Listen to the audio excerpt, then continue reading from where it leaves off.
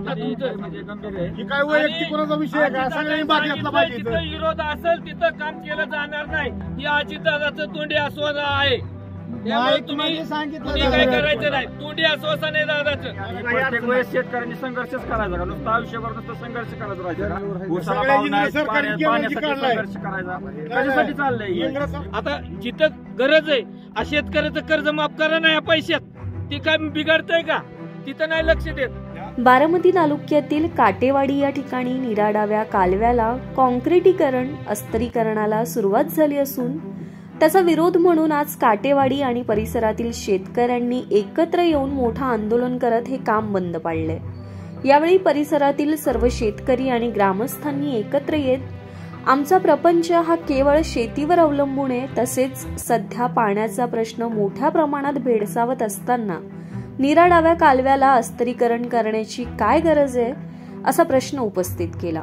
आम्हा शेतकऱ्यांचं रक्त सांडलं तरी चालेल परंतु हे अस्तरीकरण निराडाव्या कालव्याला होऊ देणार नाही अशी आक्रमक भूमिका यावेळी शेतकऱ्यांनी घेतली. तसेच सरकारमधील नेत्यांच्या म्हणण्यानुसार ज्या भागातील शेतकरी अस्तरीकरणाला विरोध करत असतील त्या भागातील कॉन्क्रिटीकरण अस्तरीकरण केलं जाणार नाही मग आमच्या भागामध्ये कायमस्वरूपी विरोध असताना देखील हे नक्की कोणाच्या आदेशावरून कॉन्क्रिटीकरण सुरू आहे? की केवळ ठेकेदाराला जगवण्यासाठी हे सर्व सुरू करण्यात आलंय का? असा सवाल यावेळी शेतकऱ्यांनी उपस्थित केला सगळं सर्व गावातील शेतकरी एका जागेवर जमा झाले आणि गावात एका ठिकाणी ठरलं की आपण सर्व प्लास्टर कॅनलचं होऊन द्यायचं नाही. तर सगळ्यांनी एकमेकाला संदेश देऊन सगळे एका जागेवर आली.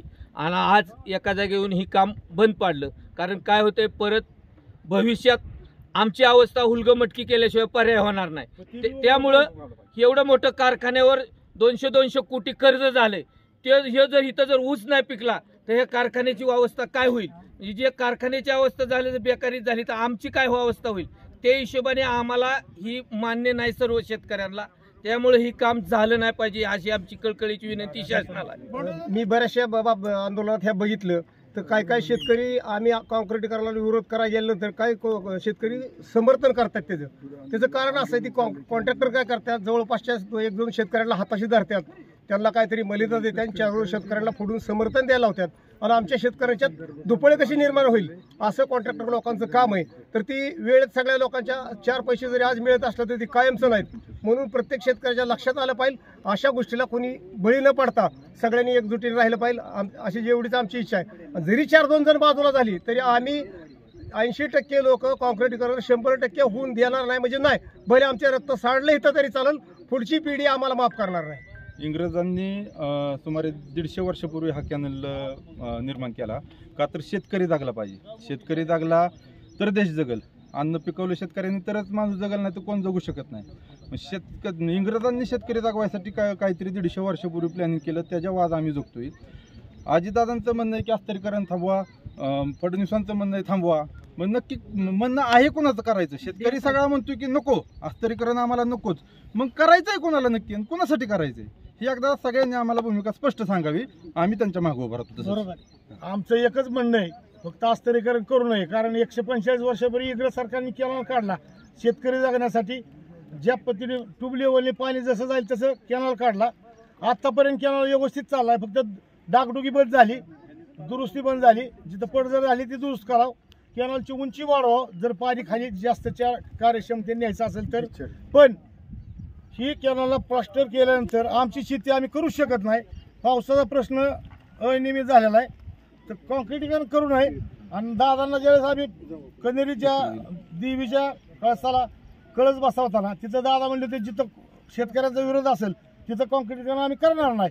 आमच्या चार पिढ्या यापूर्वीपासून ह्या कॅनलवर जगत्यात पूर्वी वाडवडिलांनी आजोबांनी ह्या कॅनलवर रोजगार हमीत काम करून हा कॅनल तयार केला. आणि आज आम्ही जायचं कुठं? एक तर शेतकऱ्याच्या मालाला कुठला भाव नाही. शेतकरी कसा जगतोय त्याला माहिती. लाईटीची ही अवस्था.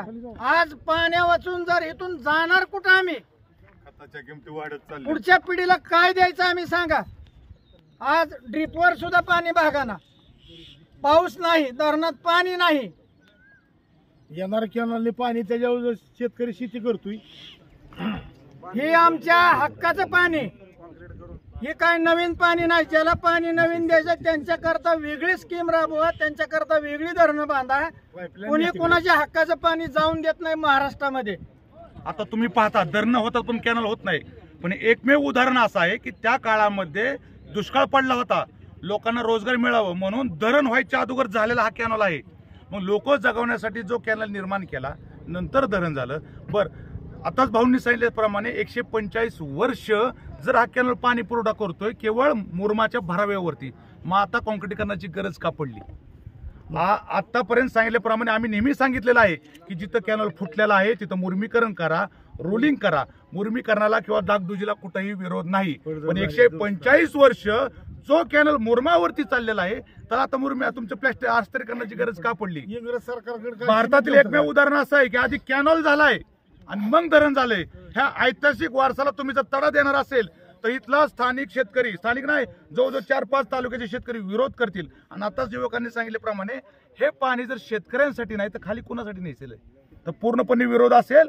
हे आंदोलन अगदी गांधीवादी तत्वाने चाललेलं आहे. आमची विनंती आहे की या तरुण पिढीला भडकू नका. विनम्रपणे मला वाटते सर्व पक्षाच्या नेत्यांनी सुद्धा आश्वासन दिलंय की जिथं विरोध आहे तिथं अस्त्रीकरण होणार नाही. मग जर सर्व पक्षीय नेत्यांनी आश्वासन देऊन जर अस्त्रीकरण चाललं असेल तरी अस्त्रीकरण काय पाकिस्तानचे कॉन्ट्रॅक्टर करतात का हो? शेतकरी दिशा हा हा महत्त्वाचा विषय आहे. सगळ्या पक्षाच्या नेत्यांचं आश्वासन आहे जिथं विरोध आहे तिथं अस्त्रीकरण होणार नाही इथल्या शेतकऱ्याचा विरोध आहे. साहजिक आहे शहरामध्ये कॅनॉल गेला तिथं अस्त्रीकरण झालं ठीक आहे. शेती भागामध्ये कुठेही अस्त्रीकरण झालेलं नाही पाहिजे. शेतकऱ्यांच्या संयमाचा अंत पाहू नये सरकारने.